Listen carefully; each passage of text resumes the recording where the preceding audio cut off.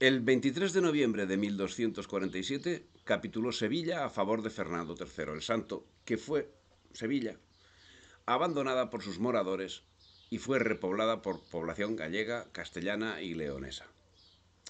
El 23 de noviembre de 1505, Diego Deza subdelegó el cargo de Inquisidor General a Juan Pardo de Tavera.